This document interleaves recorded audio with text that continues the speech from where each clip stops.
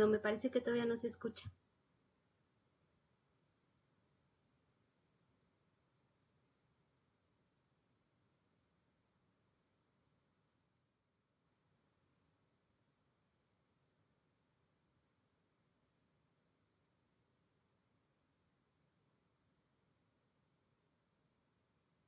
ya, se escucha. Muy buenas tardes a todos. Bienvenidos al seminario institucional del Instituto Nacional de Astrofísica, Óptica y Electrónica, el INAOE. El día de hoy me complace muchísimo presentar a las personas que se encargarán de este seminario con fecha de 8 de noviembre. El seminario se titula el día de hoy Los objetos Herbert Aro a través del tiempo. Eh, así que bienvenidos a todos. Muchísimas gracias por la espera.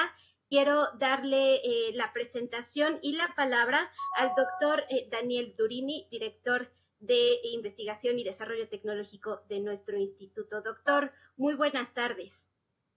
Muy buenas tardes. Gracias, Monserrat. Muy buenas tardes a todo nuestro público.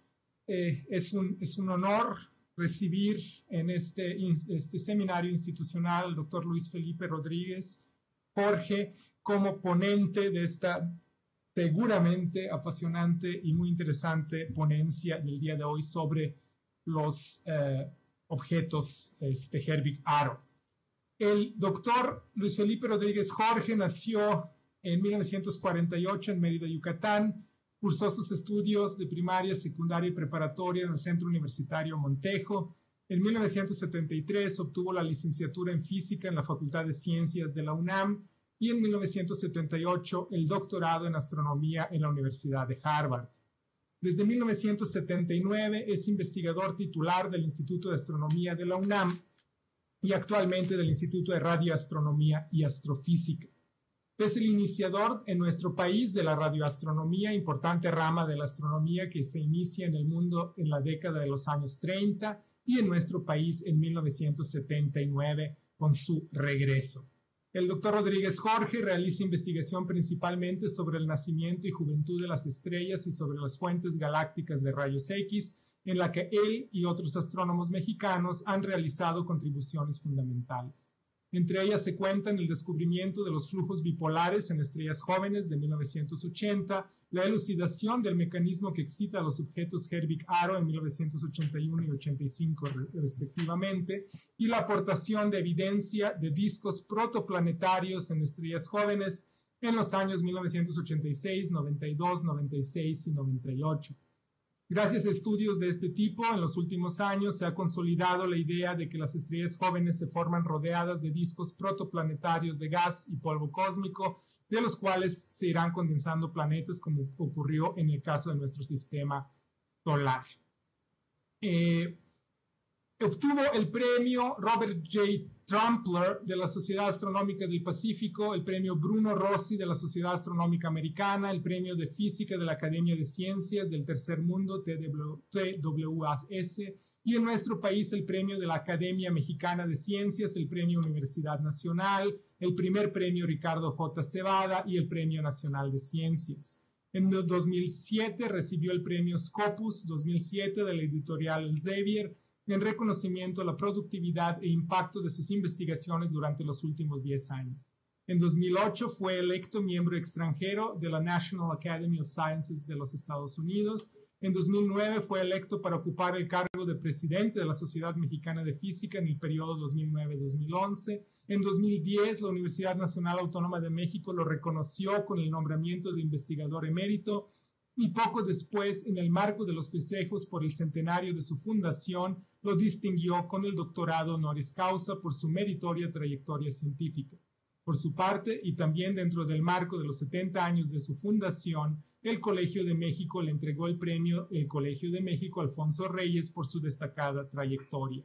En 2011 fue galardonado con el premio Biblos al mérito, otorgado por la comunidad mexicano-libanesa a mexicanos de ascendencia libanesa, en 2012 fue nombrado miembro titular de la Academia Mexicana de Ciencias. En 2013, el gobierno del estado le otorgó la medalla Yucatán en ceremonia celebrada en el Palacio de Gobierno en Mérida y en el marco de la celebración del, 70 aniversario de la independencia de la República del Líbano, se le otorgó el premio Cedros. El doctor Luis Felipe Rodríguez Jorge ingresó al Colegio Nacional el 24 de febrero del año 2000.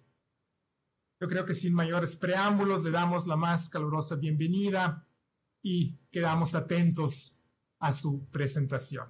Bienvenido y adelante, doctor. Muchísimas gracias, Daniel.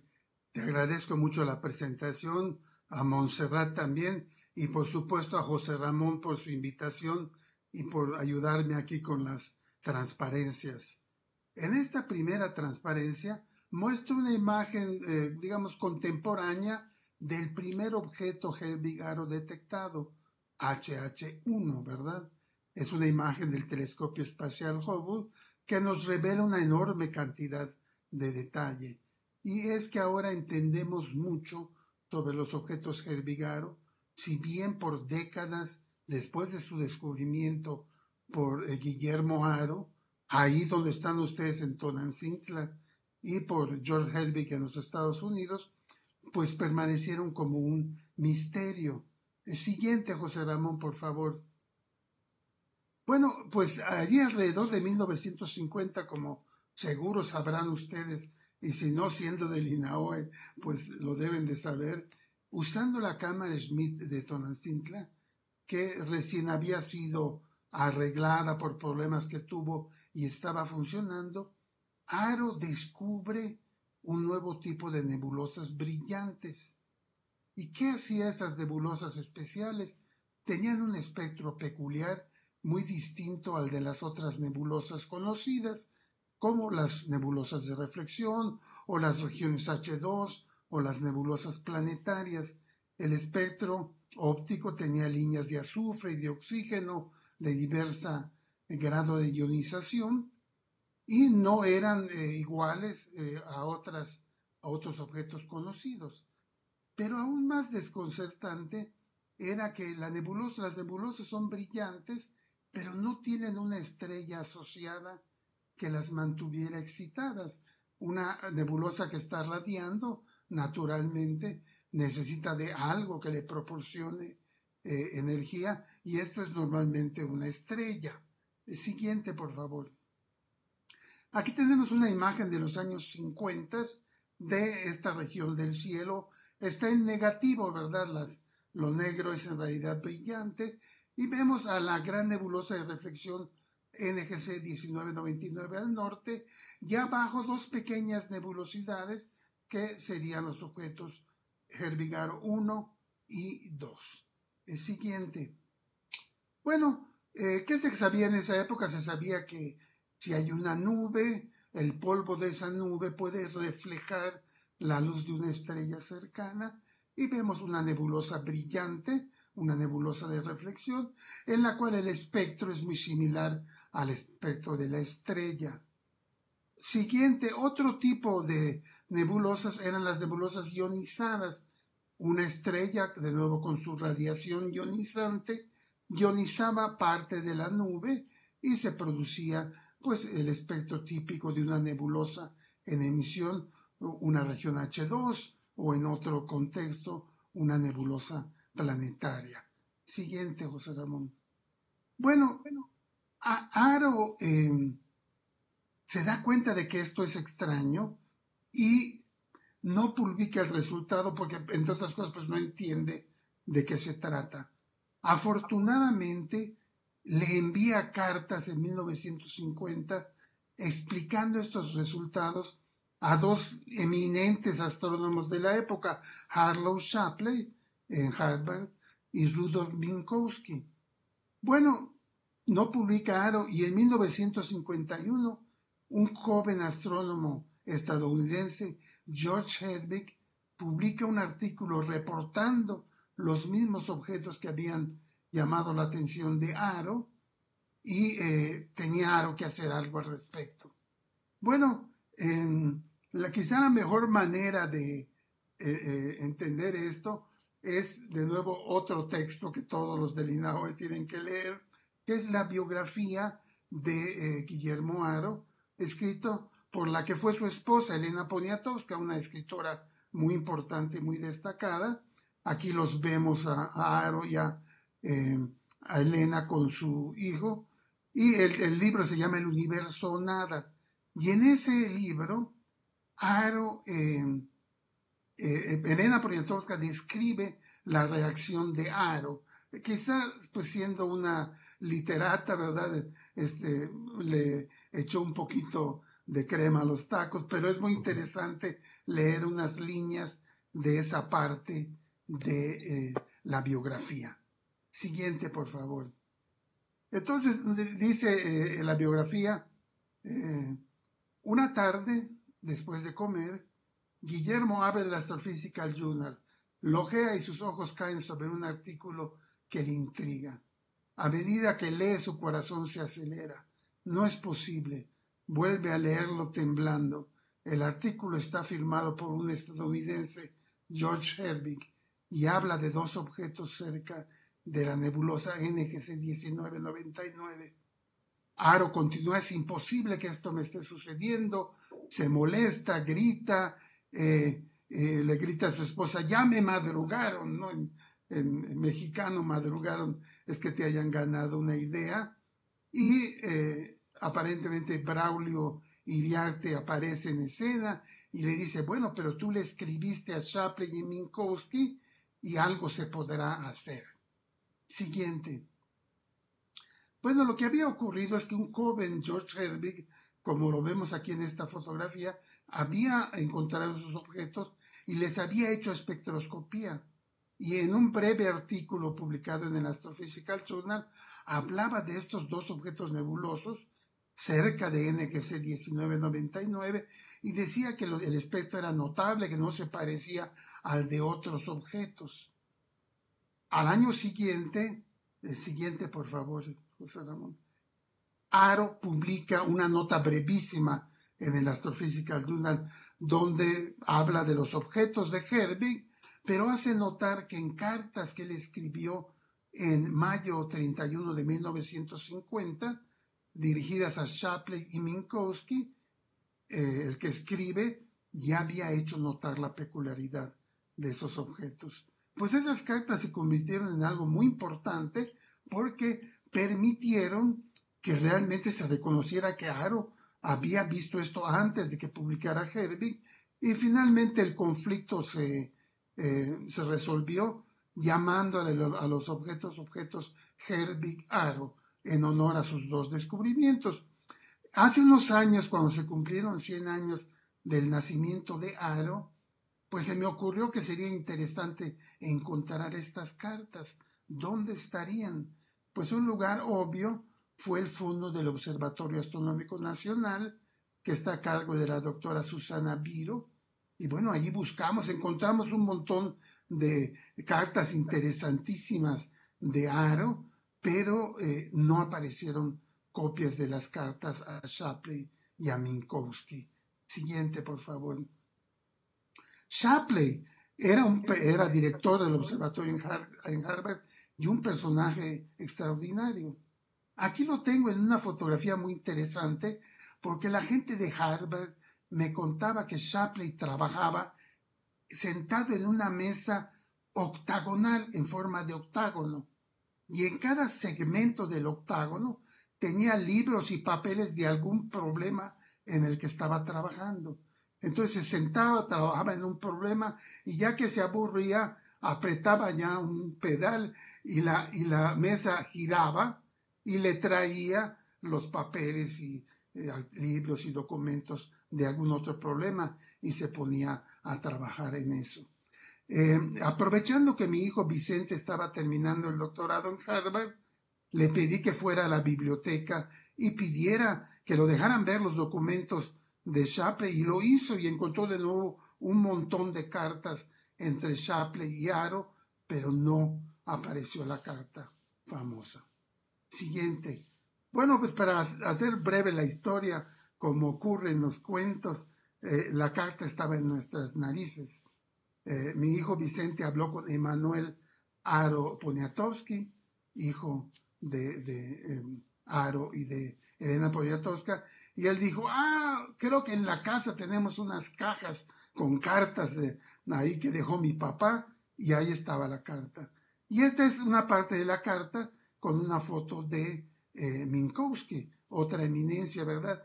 Y en esa carta Aro le comenta de varias cosas que había hecho y en una parte dice que ha encontrado unos glóbulos muy interesantes, ¿no?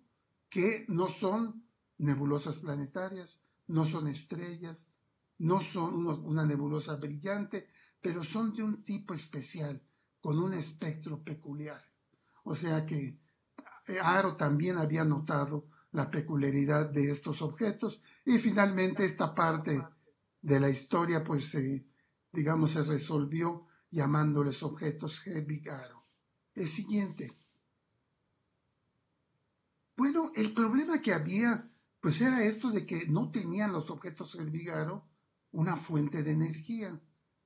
¿Qué era lo que estaba pasando? A través de las décadas aparecieron artículos que en retrospectiva pues ya traían la solución al problema, pero como ocurre en esto, pues nadie los vio, ¿no? Entonces, uno de estos artículos lo publicó eh, Osterblock, otra eminencia, en 1958, donde hacía notar que cerca de la estrella joven T Tauri hay una nebulosa, que la nebulosa de Burnham, que es en cierto modo similar a un objeto Helvigaro, y pensaba él que quizá estaba excitada de alguna manera por el viento estelar de Tetauri.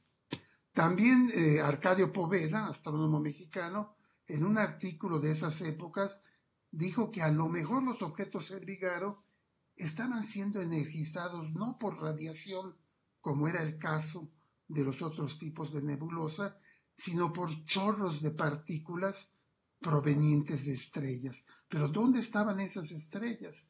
Siguiente. Entonces, bueno, muy pues rápidamente les resumo momentos importantes. Aro y Minkowski buscan estrellas en los objetos Herbigaro, no las encuentran. Herbig hace notar que son variables en escalas de años. Tiene él placas tomadas a lo largo del tiempo que eh, eh, van a ser muy importantes en un momento. Strom, Steve Strom, eh, dice que a lo mejor son nebulosas de reflexión y que por eso no vemos a la estrella, la estrella está desplazada. Schwartz eh, hace un avance muy importante donde dice que el espectro se parece al espectro de las supernovas, las supernovas viejas, donde ya la velocidad de choque es de solo unos cientos de kilómetros. Y esto es una observación clave. Y finalmente, eh, Snell y, por un lado yo con otro grupo descubrimos un nuevo fenómeno, el fenómeno de los flujos moleculares bipolares. ¿Qué era eso? Siguiente, José Ramón. Era que en las nubes moleculares donde había formación de estrellas, alrededor de una estrella joven veía uno gas molecular acercándose un lado a nosotros y alejándose el otro lado como si hubiera algún tipo de expulsión que por la morfología se le llamó bipolar. Y interesantemente, algunos de estos flujos bipolares, en esta imagen estamos mostrando el de L1551 que reportó Snell, el lado azul del flujo bipolar podría a veces estar asociado con objetos Herbigaro. Entonces todo esto eh, empezaba a, sonar a algo, pero la verdad es que no nos cayó el 20 a nadie hasta 1980. En una reunión de la American Astronomical Society, Helbig presenta un eh, trabajo intitulado eh, Los grandes movimientos propios de los objetos HH1 y HH2. Entonces, oh sorpresa, los objetos no están quietos en el cielo, sino que se mueven. Bueno, recuperé esta película y les voy a pasar un pedacito, en, creo que en la siguiente transparencia, a ver si logra José Ramón activar el... Eh, entonces, pues, es una pequeña película que hizo Herbig. Hay que recordar que en esa época, en 1980, nadie usaba animaciones y nadie usaba nada. Y él hizo una película y la pasó allá y mostraba una región donde se ve NGC 1999, las flechas muestran a los objetos 1 y 2. Desafortunadamente la imagen está volteada, ¿verdad? El este aparece a la derecha y el oeste a la izquierda al revés de lo normal. Y el Herbig lo que muestra son imágenes que ha tomado a través de los años de los objetos Herbigaro, donde muestra, aquí vemos la comparación, que los objetos se alejan del centro, están en movimiento. Esto fue una verdadera revolución y los que estábamos ahí presentes nos cayó el 20 inmediatamente de que los objetos Helvigaro eh, se movían en el cielo, muy probablemente porque una estrella joven les hacía llegar chorros de gas que chocaban al gas y, lo movían, y que además los objetos 1 y 2 que uno hasta entonces los veía uno como dos objetos separados, eran en realidad parte de un sistema que estaba excitado por algo en medio de los dos. Siguiente, José Ramón. E, esta fotografía, pues, esta película nos dejó a todos eh, estupefactos. Al año siguiente, eh, eh, Herbig y su colaborador Jones, Bulton Jones, publicaron el artículo y en esta gráfica vemos eh, la conclusión. Los objetos Herbigaro 1 y 2 están formados por muchos nudos y estos nudos se movían a distintas velocidades del orden de cientos de kilómetros por segundo. Las flechas en la figura indican el movimiento en 100 años. Eh, se manejó que quizá estaban siendo energizados por una estrella que se veía en el visible una estrella, la estrella CS descubierta por eh, Cohen y Schwartz. Bueno, pues esto parecía posible, ¿verdad? Y además nos pues quedó claro que eran un sistema, no eran objetos independientes, venían de una fuente en común por el movimiento de las cosas. Siguiente. Bueno, pues eh, ya, luego hubo eh, películas increíbles de los objetos Vigaro por ejemplo, esta hecha por Hartigan eh, con imágenes del telescopio espacial Hubble, eh, si la activa José Ramón, eh, van a ver cómo maravilloso, son imágenes tomadas. si quieres, regrésate a ver, a ver si logras. Si no se puede, no hay problema. Ahí está, no. Si, ven cómo se mueve hacia arriba, a la derecha, el, bueno, esta es una imagen, esta es una película, un video maravilloso. Sin embargo, no me emociona tanto como me emocionó en su momento ese video rudimentario, rústico que presentó Herbig, pero que nos revelaba que los objetos HH se mueven. Siguiente. Pues lo que estaba pasando es que además de las nebulosas de reflexión en las que la radiación se refleja en una nube, siguiente, y las nebulosas ionizadas, donde la radiación ioniza el gas, estábamos viendo pues hasta cierto punto un nuevo fenómeno. El siguiente, José Ramón, por favor. Eh, en este caso eran no radiación, sino un chorro colimado de partículas que llegaba a una nube, producía un choque y ese choque eh, se calentaba y radiaba. Y esto eran los objetos Helvigaro.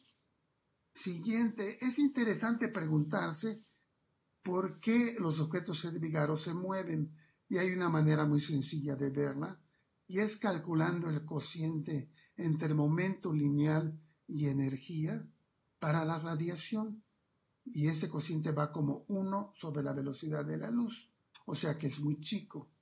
Entonces las radiaciones lleva mucha energía, pero vamos a decirlo así, poco momento, y una región H2 está siendo ionizada por una estrella, pero no se mueve a grandes velocidades.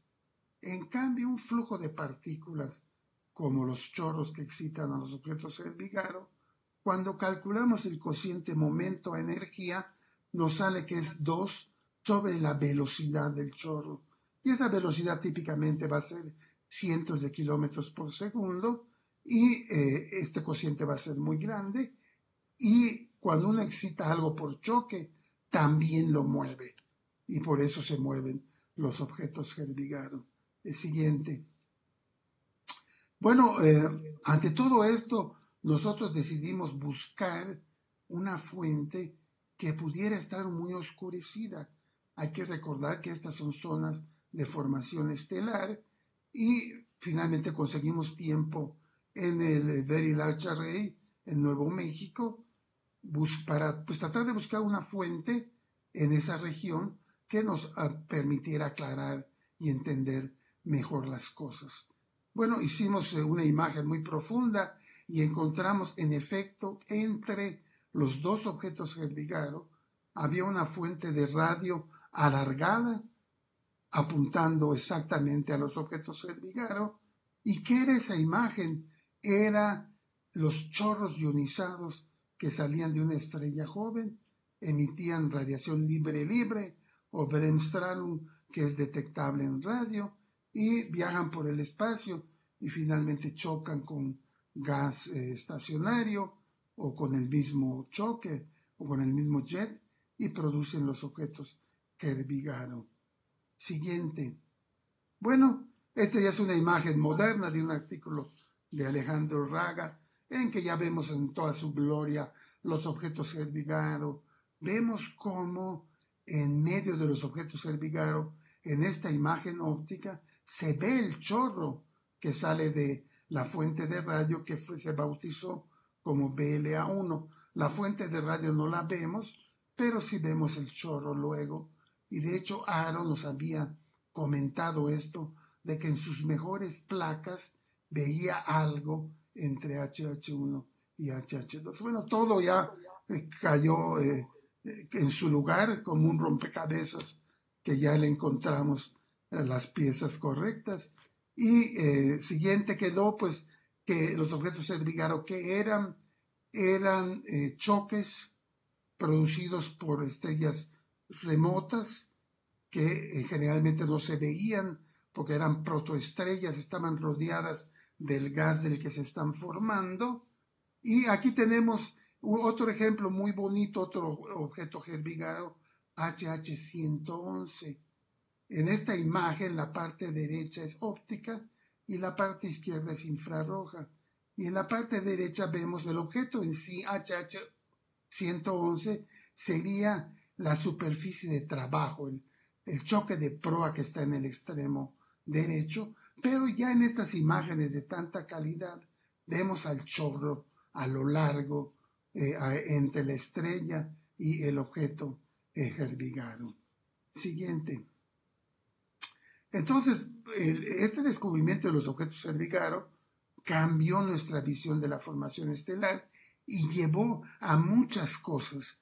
Antes de, de 1980, cuando yo hice el doctorado, por ejemplo, la formación estelar se veía como un proceso de simetría esférica. Un pedazo de nube se colapsaba y formaba una estrella.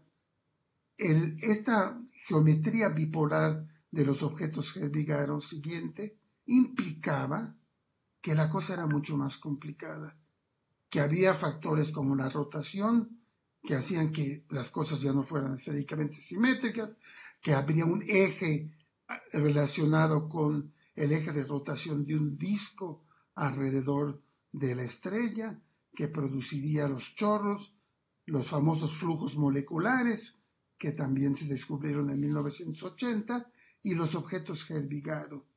Implícito en el descubrimiento de los objetos Gervigaro estaba que hacía falta un disco eh, alrededor de la estrella joven y que este disco naturalmente era el disco protoplanetario, el disco del cual se estaban formando planetas. O sea que ya luego, en los años 90, cuando se descubre que las estrellas, como en el caso del Sol, tienen exoplanetas, en realidad esto ya estaba presagiado, anticipado en los resultados de los objetos HH, pero tampoco nadie, nadie lo vio. Siguiente. Entonces, pues ya con esto se llegó en los años 80 a un paradigma de la formación estelar que sigue siendo válido en muy buena parte, ¿no? Un fragmento de una nube se colapsa, por la rotación se forma un disco de acreción se producen chorros y poco a poco el disco de acreción se transforma en planetas y los chorros desaparecen. Y llegamos ya a un sistema planetario como el nuestro. Aquí la doctora Susana Lizano eh, participó mucho en el desarrollo de este paradigma. Siguiente. Bueno, eh, ¿qué ha pasado con el tiempo con los objetos HH1.2? De nuevo, Raga hizo un estudio muy interesante de, eh, como función del año en el eje horizontal, el número de publicaciones significativas, con, eh, importantes que se producían, no, no nada más eh, publicaciones, sino publicaciones que aportaban algo. Y vemos, es muy interesante, del descubrimiento a 1980 se publicaba un artículo al año, ¿no? De 1980 al 2000 se publica media docena de artículos al año, típicamente, con resultados. Pero la ciencia es, muy cruel. Ya que pasan 20 años entienden el fenómeno, el interés disminuye y verdad ahora ya pues no, no, se, no, se hace, no se publica tanto y sobre todo pues ya no se descubren tantas cosas.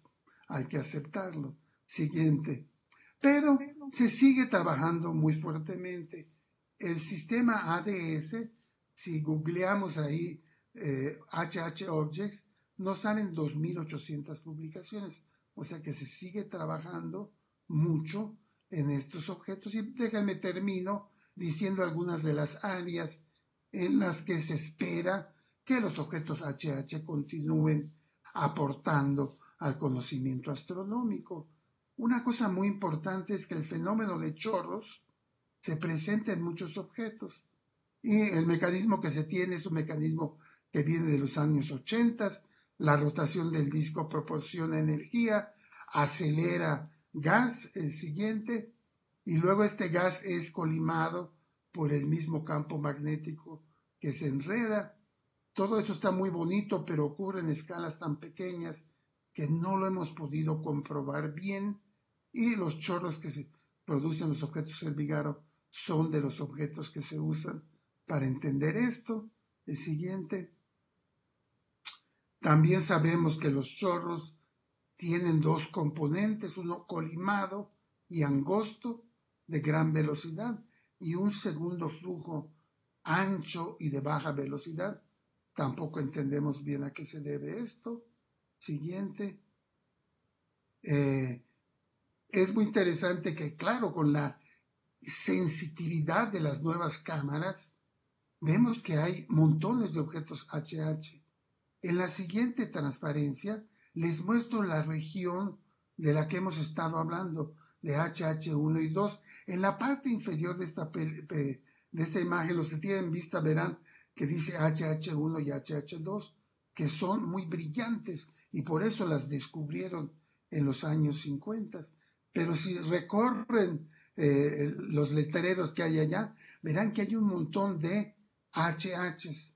En esta nube hay no docenas de objetos HH, la mayoría de los cuales son tenues y hubo que esperar a que la sensitividad de las cámaras avanzara para detectarlos, ¿no? Pero HH1 y 2 afortunadamente son muy brillantes y eso le permitió a Aro y a Herbig detectarlos hace ya 70 eh, años. Siguiente. Una noticia que le hubiera dado gusto a Aro es que se han seguido detectando objetos y ya hace varios años, el siguiente, se encontró ya los objetos mil, ¿no? Y ahorita ha de andar el número por 1200 o 1300 objetos que es Vigaro. O sea, en una nube que tenga formación estelar y ahí están los objetos del Vigaro esperando a ser descubiertos. Siguiente. Este otro tema muy interesante es que los sistemas, eh, a veces vemos una región donde hay objetos Hedvigaro. Por ejemplo, en la siguiente imagen tenemos HH34, es un sistema muy bonito. En la parte inferior y en la parte superior vemos las eh, ondas de choque, en medio la estrella y el chorro. Y uno podría pensar que allá se acaba la historia, Pero no, eh, por ejemplo, ha estado tomando imágenes de gran campo y encuentra expulsiones más antiguas que están alineadas con esta expulsión. Y déjenme en la siguiente imagen, se los muestro. Aquí el cuadrado en rojo es la imagen anterior.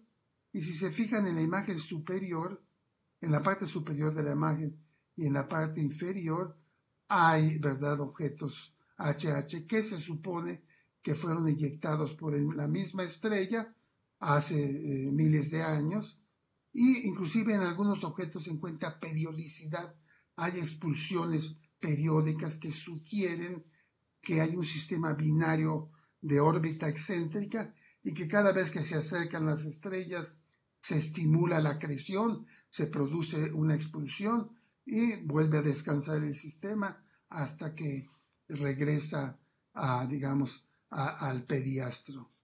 Siguiente. Hay sistemas eh, muy grandes. Otra cosa muy interesante es que el fenómeno Herbigaro, de hecho, aparece en todos los tipos estelares. Por una, en una época parecía que eran característicos de las estrellas de tipo solar. No, ahora sabemos que las estrellas más luminosas, cuando son jóvenes, forman objetos Herbigaro, las estrellas de masa intermedia, las estrellas de baja masa, inclusive las enanas café, tienen efectos fenómenos de expulsión bipolar que dan lugar a objetos Herbigaro. Claro, todo escalado, ¿verdad? Eh, una, una estrella masiva tiene chorros muy poderosos y produce objetos HH muy luminosos. Siguiente, José Ramón, por favor. Em, otra cosa muy interesante es que dentro de las nubes vemos objetos HH oscurecidos. Y aquí déjame en, en, esta imagen, si se fijan en la parte inferior donde hay una cruz, es una imagen de radio, vemos una pequeña nube. Años después, el siguiente, vemos que la nube se hizo más brillante y otros cinco o seis años después vemos que ya se movió. O sea que se forman eh, estos objetos dentro de la nube, a veces los vemos, pero a veces todo puede ocurrir dentro de la nube y, eh, y no, no se ven más que en radio o en el infrarrojo. El siguiente, yo tengo esta discusión con Rey por de si les debemos de llamar objetos Herbigaro y él dice que no, porque la definición de objeto Herbigaro es en el óptico, como las definió Herbig. Entonces, estos objetos son objetos Herbigaro, pero como no los vemos en el óptico, hay que buscarles otro nombre. Siguiente. También hay esto de que a veces se ve asimétrico el chorro, como aquí vemos el caso precisamente del chorro que excita los objetos 1 y 2. Y vemos como en el óptico la imagen de la izquierda y del centro, vemos el chorro de un solo lado, pero en la imagen de la extrema derecha, que está hecho a 4.5 micras, ya vemos el otro lado del chorro. Es simplemente un problema de oscurecimiento. El, lado que se acerca hacia nosotros lo vemos menos extinguido que el lado que se aleja. El siguiente. Bueno, ya ahora sí para terminar, y escuchar sus preguntas. Sabemos que los objetos HH pueden ser fuentes de emisión de radio, infrarroja, óptica, ultravioleta, de rayos X, porque el choque es muy fuerte y el gas se calienta a grandes temperaturas. Y solo les faltaría ser fuentes de rayos gamma para que las detectemos en todo el espectro electromagnético. Los rayos gamma requieren de muy altas energías siguiente. Sin embargo, se sabe que en algunos objetos eh, chorros Hedvigaro, porque ahora ya no solo se habla de los objetos Hedvigaro, se habla de los chorros Hedvigaro y del sistema Hedvigaro, que sería ya todo, ¿no? Los objetos, el chorro. Se ha encontrado que hay emisión sincrotrón y esta emisión sincrotrón la producen electrones relativistas que se aceleran en el choque. Y se sabe que estos electrones relativistas, si se dan las condiciones, pueden producir rayos gamma. Eh, en la siguiente imagen tengo un espectro eh, de qué esperaríamos ver de un choque estelar y vemos que desafortunadamente se van a producir rayos gamma, pero en este momento aún lo más sensitivo que hay, el satélite Fermi, no llega a detectarlos. Pero quién sabe, quizá la nueva generación de, eh, de detectores de satélites de rayos gamma va a detectar a los objetos Vigaro. Y así podemos presumir de que los detectamos en todo el espectro. Siguiente, ya para terminar, déjenme les dejo mis conclusiones. Eh, estos son objetos muy importantes.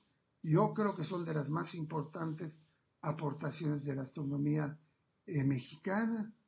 Fueron evidencia precursora de que las estrellas se forman rodeadas de discos protoplanetarios, ¿no?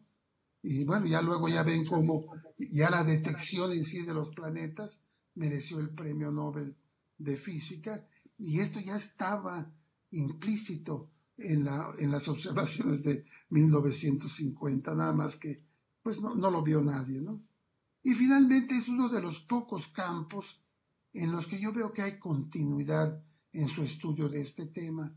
En la actualidad, en todo el país, en el INAOE, en la UNAM, en la Universidad de Guanajuato, Guadalajara, eh, etcétera, hay unos 30 investigadores que hacen formación estelar y en particular buena parte de ellos objetos Vigaro. Así que esperemos que seguir haciendo descubrimientos con los objetos Vigaro y que el campo de la formación estelar eh, continúe siendo una de las áreas en las que nuestro país tiene pues gran presencia internacional. Muchísimas gracias y si tienen preguntas pues se las trataré de contestar.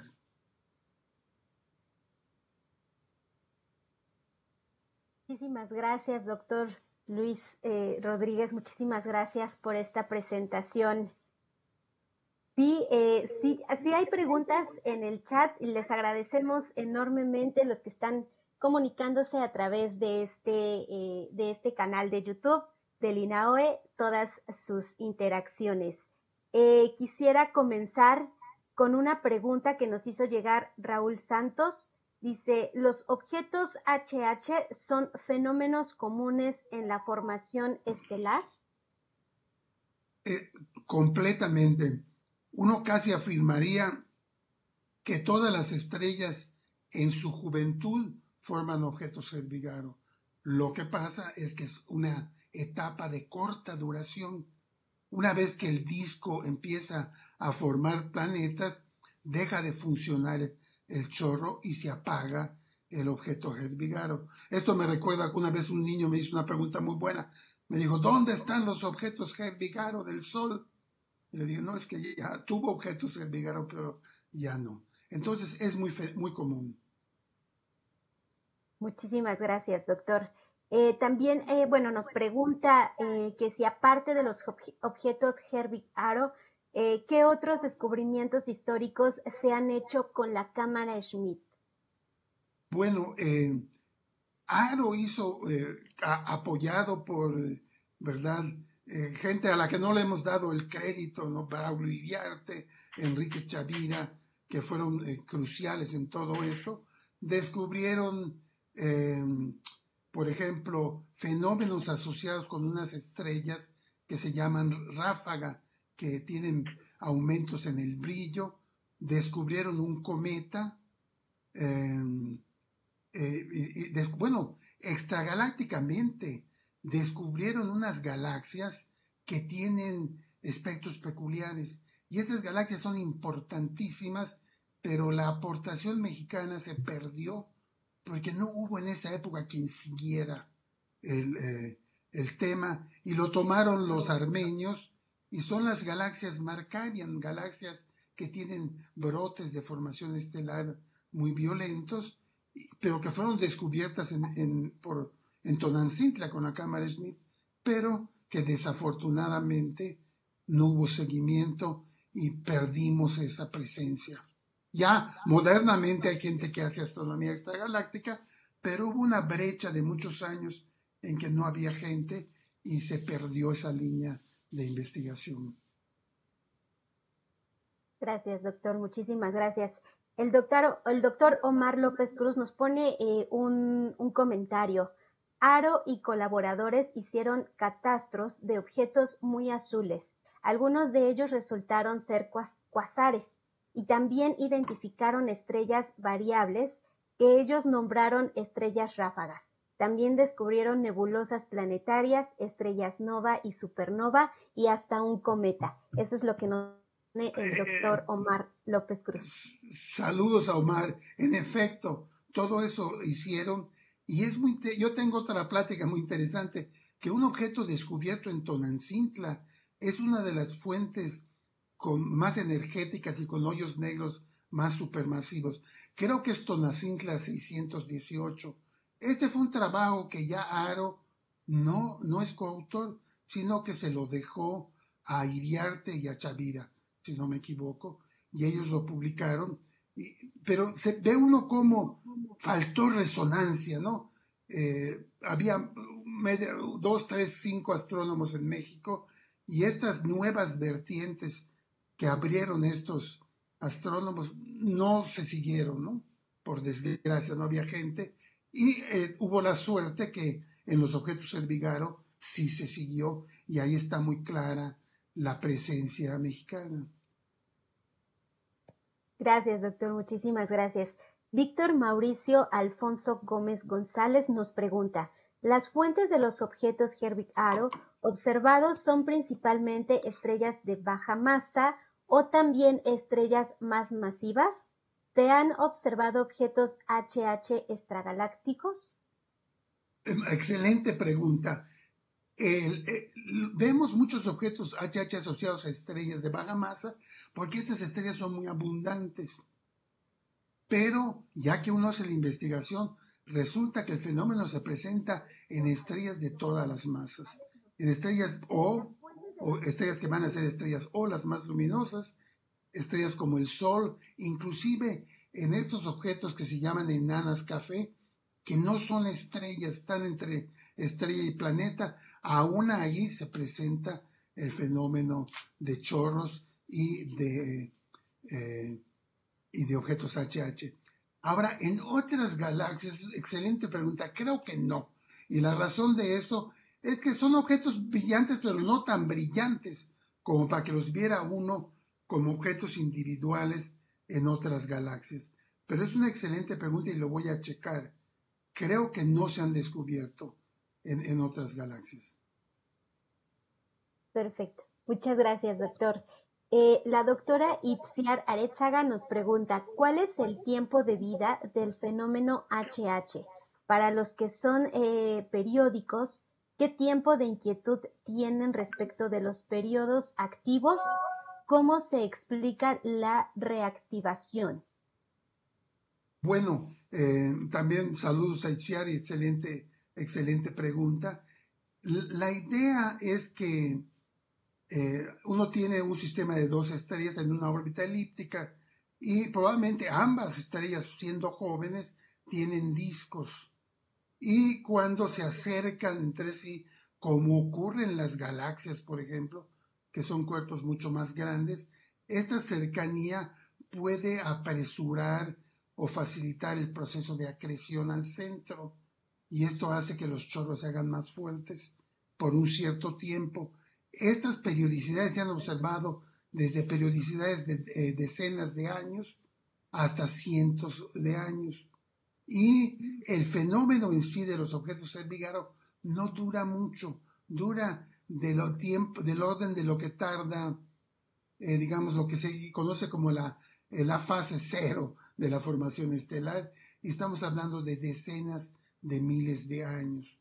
También esto hace que sea difícil detectar a los objetos El Vigaro, porque una estrella como el Sol vive 10 mil millones de años, pero la etapa eh, con objetos El Vigaro es muy breve al principio de su vida y podría ser algo del orden de unas decenas eh, eh, de miles de años. Es una etapa muy rápida.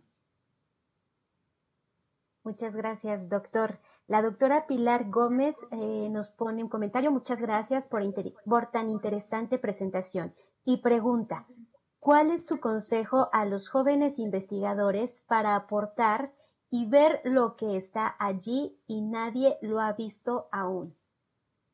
Pues ojalá yo lo, si lo supiera yo, lo había yo aplicado. La verdad es que lo que uno hace normalmente es que uno está haciendo una serie de observaciones que ya sabe uno un poco lo que va uno a, encontrar. Así es como empieza uno como un joven eh, haciendo la tesis doctoral, ¿verdad? Le dicen a uno, no, pues mide estas galaxias, o mide, y entonces uno tiene que estar muy atento y estar viendo los datos y buscando lo que se sale de lo común, porque eso probablemente va a resultar a la larga ser lo más importante.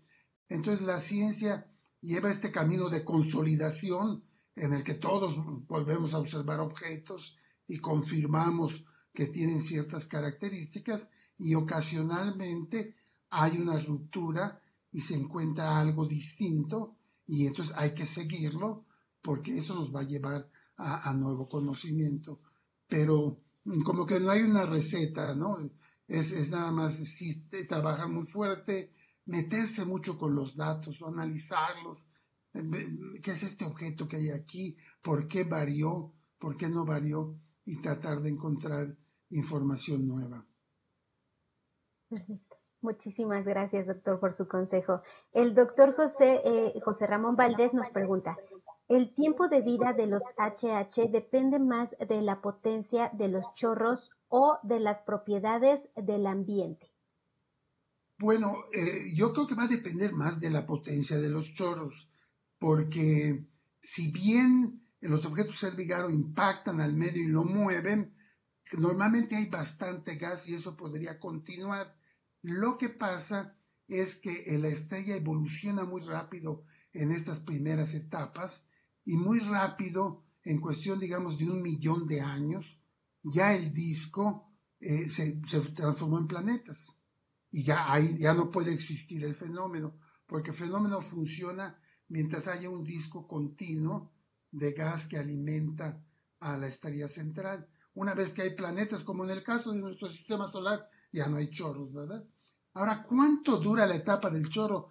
Ciertamente menos de un millón de años y probablemente entre 10.000 y 100.000 años y pasado ese tiempo el chorro disminuye mucho porque el disco eh, disminuye mucho, están relacionados, hay una simbiosis entre el disco y el chorro, y cuando el disco se empieza a transformar en planetas, el precio es que el chorro desaparece.